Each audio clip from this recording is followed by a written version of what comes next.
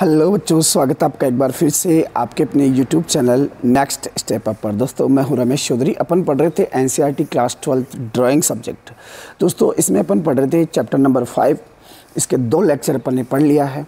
एक तो पहाड़ी चित्रशैली का सामान्य परिचय और दूसरे लेक्चर में अपन ने पढ़ा बसोहली चित्रशैली का उसके बारे में अपन ने पढ़ा। आज अपन पढ़ेंगे बसोहली चित्रशैली से ही उत्पन्न हुई गुलेर चित्रशैली।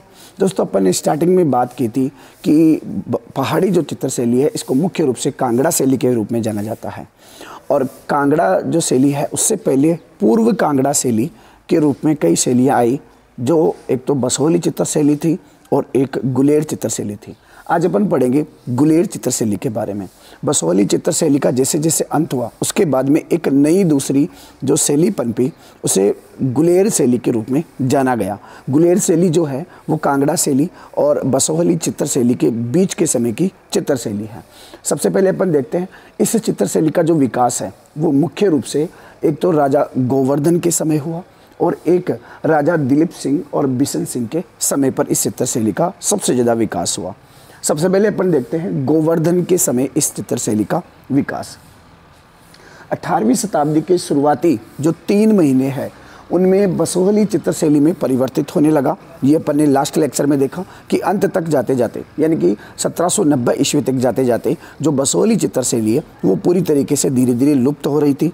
और 18वीं शताब्दी के जो शुरुआती तीन महीने हैं, उसमें ये पूरी तरीके से परिवर्तित हो गई। एक नई चित्रशैली सामने आई और जिसको नाम दिया गया गुलेर चित्रशैली। दोस्तों, यह जो शैली है, ये जो परिवर्तन हुआ बसोहली चित्रशैली से गुलेर शैली में, ये उस टाइम पे, जिस समय परिवर्तन हुआ, उस टाइम पे वहाँ के शासक थे, गोवर्धन। उनके समय पर ये परिवर्तन देखने को मिला।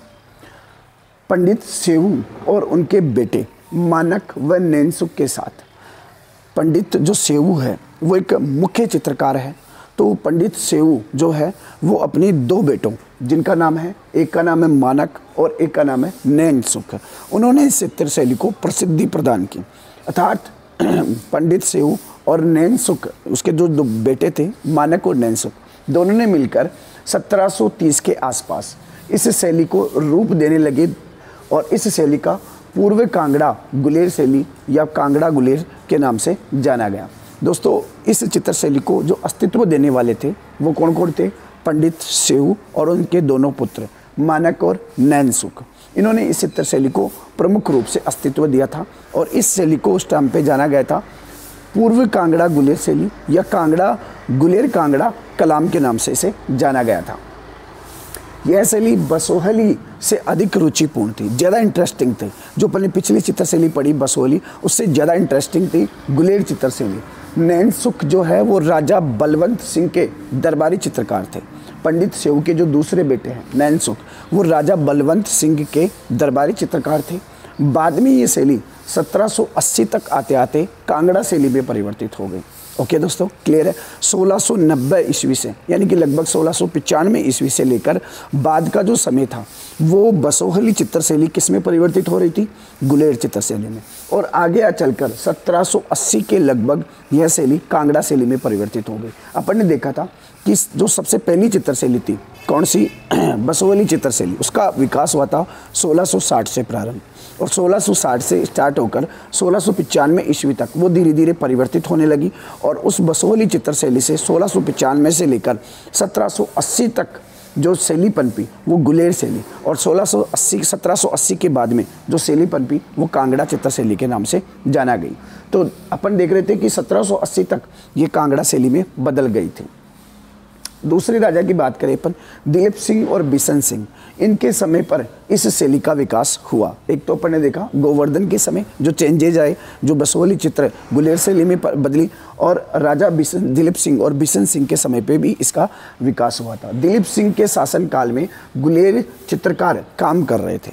उस समय भी चित्रकार काम कर रहे थे। क्यों? इसके प्रमाण हमें कहाँ मिलते हैं? दिलीप सिंह व उसके पुत्र बिशन सिंह, उन दोनों के जो चित्र बने हुए हैं वो लगभग 1730 के दशक से पहले के चित्र हैं।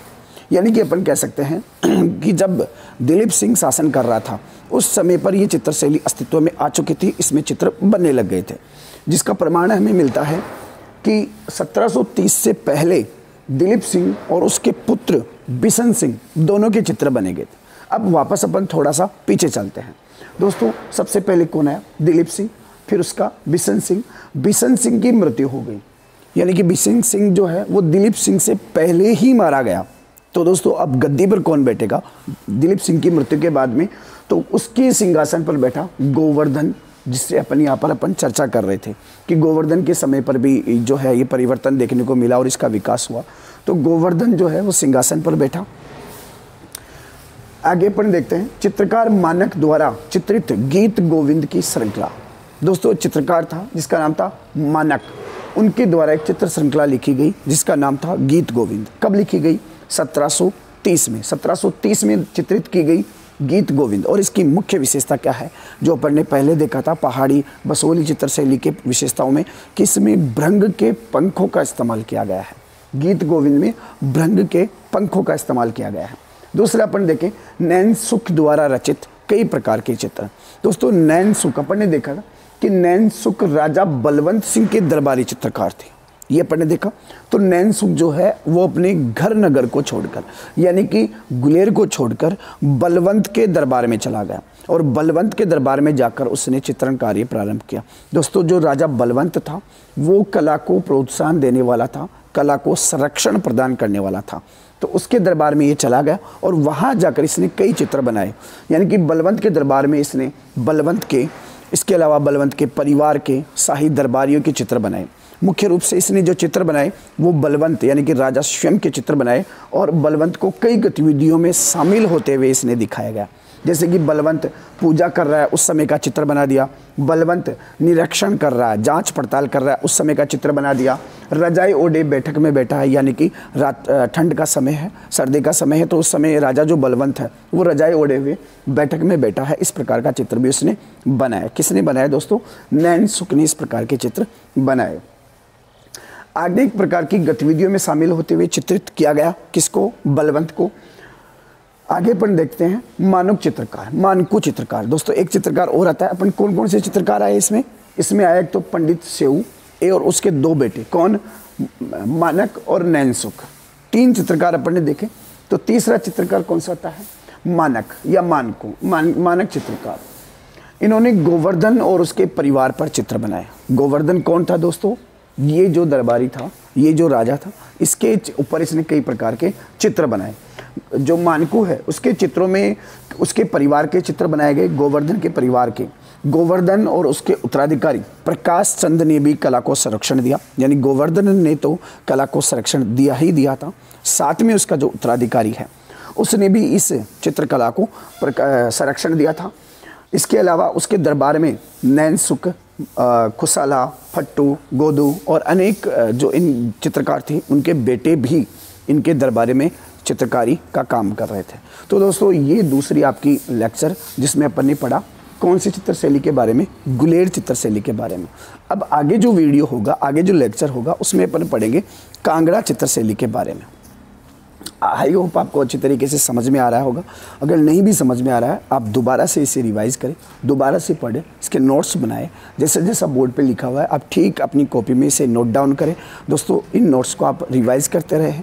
पाँच दिन से, सात दिन से एक बार रिवाइज करोगे तो ये परमानेंटली स्टोर हो जाएँगे आपके माइंड में। अगर आप एक बार वीडियो देख रहे हो और उसे छोड़ रहे हो तो फिर ये याद नहीं होने वाला है। फिर आप थोड़ी समय में इसे भूल जाओगे।